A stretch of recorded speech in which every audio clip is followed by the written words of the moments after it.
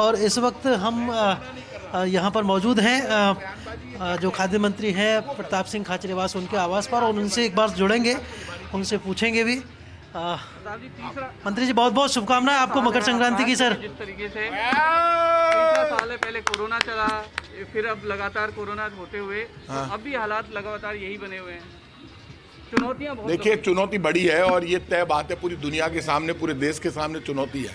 और इस चुनौती से मुकाबला करने के लिए सबको सावधान रहना पड़ेगा और तय करना पड़ेगा कि सब लोग मिलकर और एक संकल्प ले लें। हम अपना अपना धर्म निभाएँगे, खुद को सेफ़ रखेंगे तो परिवार को बचा पाएँगे। संकट बड़ा है और अभी ओमिक्रॉन मेरा ये मानना है कि दूसरे वायरस से लड़ रहा है, उनको मार रहा है, लड़ाई ओमिक्रॉन और डेल्टा में हो रही है। लेकिन कब ओमिक्रॉन रूप बदल ले, कब दिक्कत आ जाए चुनौती आए इसलिए सावधान रहना पड़ेगा। और ओमिक्रोन का भी खतरा अभी तक पूरा समझ में नहीं आया है इसलिए लोगों को अलर्ट रहना चाहिए। अलर्ट रहेंगे तो फ़ायदे में रहेंगे। प्रताप जी एक और बात है जिस तरीके से आपने हाँ, किस तरह से देख रहे पूरे त्योहार नगर निगम में आप पहुँच गए अपने ही नेताओं के एक पतंग भी कटी है। नगर निगम आप पहुँचे थे निशाना किस और था?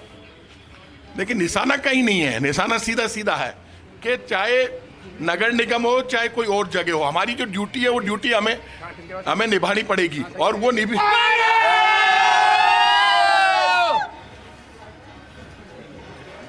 पतंग पे पतंग काट रहे हैं सर वो वहाँ पर आपके ही लोग निशाने पर आ रहे हैं नगर निगम वाले मामले में। क्योंकि सरकार तो आपकी है वही नहीं बना के दे रही है कमेटी। नहीं नहीं सरकार क्या हम बना देंगे कमेटी मैं भी सरकार का हिस्सा हूँ मंत्री हूँ। बना देंगे आप क्यों चिंता कर रहे हो? अब बना देंगे अल- अलवल वाली घटना सर काफ़ी दुखद रही है क्या अलवर वाली घटना के लिए मैं इतना कह सकता हूँ ऐसे राक्षसों को छोड़ेंगे नहीं पाताल में घुस जाए पाताल में से ला के ठोक के मारेंगे तय बात है। किसी भी कीमत पर हमारी बेटी के साथ जहाँ भी हमारी बेटियों के साथ ऐसा होगा पूरी सरकार बेटी के परिवार के साथ खड़ी है बेटी के साथ खड़ी है। ये घटना बड़ी चुनौती वाली है इस चुनौती को हम स्वीकार कर रहे हैं। और ऐसा भी हुआ राजस्थान में जब एक एक दिन में ज़बरदस्त सजा मिली है। और ये तय कर लें जो अपराधी हैं वो कहाँ छुपेंगे? छोड़ेंगे तोड़ना और अपराधी जो विकृत मानसिकता ये तो राक्षस भी राक्षसों से भी गं, गं, गंदा काम उन्होंने किया है। जो इससे गंद, इतना गंदा काम कर सकते हैं वो ना देश के सगे हैं ना अपने परिवार के। उनका तो ये तय कर लेना ये जो राक्षस है ना इनको तो ये तय कर लें जिन्होंने ये किया जो मेरी आवाज़ सुन रहे हैं। कि तुम्हारे घर में तुम्हारी माँ बहन बेटी नहीं है क्या? और तुम बच जाओगे क्या? इतना दर्द तुमने एक बेटी को दिया तो तुम्हारा भी दर्द देखना क्या होता है तुम्हारे साथ? प्रताप सिंह खाचरियावास जी तीन राज्य पाँच राज्यों के चुनाव है। आगे आपके लिए भी चुनौती होगी। आपको भी कौन से कौन से क्षेत्र में पार्टी ज़िम्मेदारी देने जा रही है? क्योंकि यूपी जैसा राज्य कहा जा रहा है कि प्रताप सिंह खाचरियावास उसमें काफ़ी उपयोगी हो सकते हैं क्योंकि योगी जो है वो उसी में तो दल बदल की राजनीति भी चल रही है सर। भाजपा छोड़कर जा रहे हैं मंत्री। देखिए यूपी में बीजेपी का बुखार हट रहा है क्योंकि राम का नाम लेकर जनता के साथ धोखा नहीं कर सकते। हम खुद राम के वंशज हैं। हम तो राम के चरित्र को जानते हैं। राम लोगों का भला करते हैं। राम वो है जो भेदभाव नहीं करते। राम वो है जो नफरत नहीं करते। हमारे राम तो ऐसे हैं जो सिर्फ़ प्यार करते हैं, आशीर्वाद देते हैं, सबको बराबर से देखते हैं, एक आँख से देखते हैं। तो राम राज्य की कल्पना करनी चाहिए थी बीजेपी को। वहाँ राम राज्य नहीं है। वहाँ सुबह बेटा निकल रहा तो शाम को सुरक्षित नहीं, वापस आएगा या नहीं आएगा गोली ठोक के मार रहे थे। इतने बच्चों को मार दिया। यूपी में ये तो होना ही था, लोग इंजारी कर रहे थे। डरे हुए थे, मंत्री तक डरे हुए थे, इसलिए अब छोड़ रहे हैं। वो लग रहे थे हमें नहीं मार दे हमारे घरों को नहीं तोड़ते बुलडोजर चला रहे घरों के ऊपर। ऐसी कोई सरकार देखी आपने आज तक? लोकतंत्र में आप कौन होते हो बुलडोजर चलाने वाले? किसी घर में किसी कोई अपराधी था या अपराधी है और उसके परिवार में चाहे वो भाई है वो भाग गए लोग यूपी छोड़ छोड़ के। ऐसे चुन चुन के मारोगे क्या आप? प्रताप जी प्रचार करते हुए दिखाई देंगे? आप पंजाब में आपके नहीं मेरे जहाँ भी ज़िम्मेदारी देगी देगी पार्टी अभी मुझे कोई ज़िम्मेदारी इन राज्यों में मिली नहीं है। यदि मुझे कहीं देगी ज़िम्मेदारी तो निश्चित रूप से आप ये मानकर चलिए मैं भी वो ज़िम्मेदारी निभाऊँगा।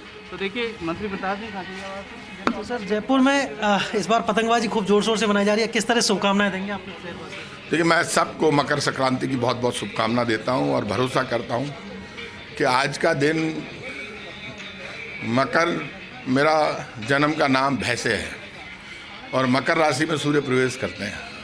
और आज से कहते हैं कि सूर्य भगवान तेज़ी से आगे बढ़ेंगे। लोग ठंड से परेशान हैं। और लोग कहते हैं, भगवान कहाँ है? मैंने कहा, सुबह उठ के देखा कर, सूरज के दर्शन कर। मैं खुद भी जल चढ़ा के आया हूँ। तो सूरज के रोज़ सुबह जो दर्शन करते हैं, उनको रोज़ भगवान के दर्शन होते हैं। तो मकर संक्रांति, सूर्य जब आते हैं और इस तरह से आते हैं कि पूरी रोशनी के साथ आते हैं और गर्मी की, कहते हैं कि बड़े दिनों की शुरुआत होती है।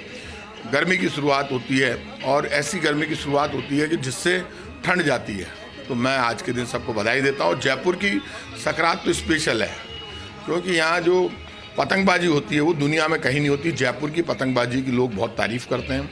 लोगों को बहुत पसंद है। मैं खुद बचपन से पतंगबाजी करता हूँ और मेरा ये घर है, जहाँ मैं हमेशा यहीं से पतंगबाजी करता हूँ। और जहाँ पर मैं स्कूल टाइम से पतंगबाजी कर रहा हूँ, वही छत है ही वहीं से मैं पतंगबाजी कर रहा हूँ। तो लगातार दूसरा साल है। कोरोना की वजह से खतरा बढ़ा है।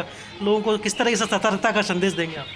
देखिए कोरोना बड़ी चुनौती है और ये बात सबको समझनी पड़ेगी कि कोरोना से बचाव करने के लिए हमको सबको सावधान रहना होगा। और यदि हम सावधान रहेंगे तो ही अपना बचाव कर पाएँगे। सावधान नहीं रहेंगे तो बचाव नहीं कर पाएँगे। इसलिए सावधान सबको रहना होगा और कोरोना से सबको डरना होगा। डरें मास्क लगाएँ सावधान रहे तो बच ये मोदी की सुरक्षा में जो चूक की घटना हुई पंजाब में पिछले दिन उसको लेकर क्या कहना सर? बात बताइए मुझे। महँगाई के मुद्दे पर बीजेपी बोलती नहीं है, बेरोजगारी के मुद्दे पर बोलती नहीं है, भ्रष्टाचार पर बोलती नहीं है। लोग बेरोजगारी के कारण आत्महत्या कर रहे हैं। पंद्रह लाख रुपए दे दूँगा, अच्छे दिन लेकर आऊँगा ब्लैक मनी लेकर आऊँगा, नोटबंदी के लिए पचास दिन दे दो, पूरे देश में स्थिति बदल जाएगी। लोगों ने देखा, नोट बदलवा लो, लाइनों में खड़े खड़े लोग मर गए बेचारे। नोट बदल गए लोगों की, लेकिन ज़िंदगी भी बदल गई। जो सौ सौ बरस से जिनके पास नोट पड़े थे पचास पचास बरस से बेचारों के पास, महिलाएँ बचत करती थी, वो भी ले जाके सरकार में जमा कर दी, लोगों के साथ ठगी हो गई।